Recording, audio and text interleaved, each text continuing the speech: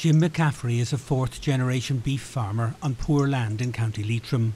He's one of many thousands making no money out of cattle, yet he has no intention of switching to forestry, despite some very attractive incentives on offer from the government.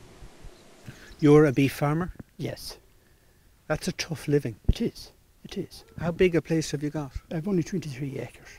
So how does a beef farmer make money on 23 well, you, acres? you, you have to have off farm. All anybody farming in Leitrim has off farm income. They have jobs. They all have jobs. You have to. Have. But farming is a way of life. It's what you do. Nearby, Paddy Rattigan has taken a very different view. Twelve years ago, he planted 120 acres of his farm in trees, mainly Sitka spruce. He has never looked back. There was a suckler herd ran here in the 70s and 80s, and weather was bad and summers were getting bad, so I decided to change. Are you better off? Yes, I am, without a doubt, better off. I never would make on cattle what I'm making off the trees. Livestock farming isn't easy. It's not an easy life for anyone. Sitka trees like the ones all around me here will grow up to three times faster here in Ireland than they will in continental Europe. And they will grow 20% faster in this Leitrim area than they will anywhere else in Ireland. So for us in this country, they could represent one of the best options for taking carbon out of the atmosphere. And that's why the government wants more trees. The target is for 8,000 hectares of new forestry like this to be planted every year. But nationally, we are nowhere near that target yet.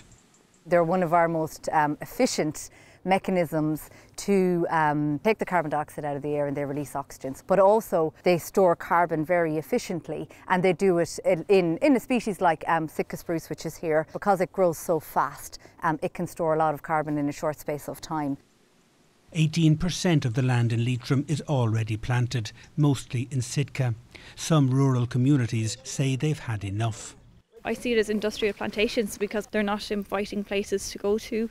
Um, if you do go into them, it you have to crawl in. Um, you can barely stand. Most things in there are dead, and they're just huge areas of darkness, um, which it's very hard to live around. You know, it's it's very hard to have that much darkness all around you the whole time. Many in Leitrim feel they've already done their bit for global emissions. Some farmers say they don't mind growing broadleaf trees like oak or beech. They just want to be able to keep their cattle too.